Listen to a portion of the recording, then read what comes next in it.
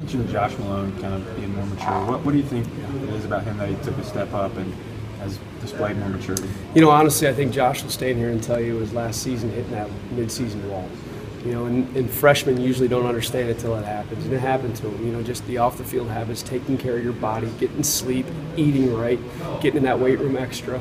Uh, those are things that you know maybe coming out as a, as a senior in high school. You think, yeah, it's important. I'm not sure how important, and now he realizes it's important.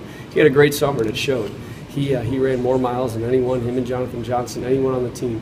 Uh, they had the highest mile rate. I think they, they ran 47 miles in the last 18 practices, and that's not a those are sprints. That's not a marathon. So, and he still looks great running at a high level. So you could tell he put the work in. I'm, I'm really proud of him. He's really, really done a nice job. Do you think that might have affected his competitive nature at all? Um, in what way? He, like when he hit that wall last Sure, year, did yeah. that kind of make him, eh, you know, where you see less fire? Pride, prideful guy. Yeah, yeah. And I think he looks back and he doesn't want that again. He wants to play at the same level he played those first five games at.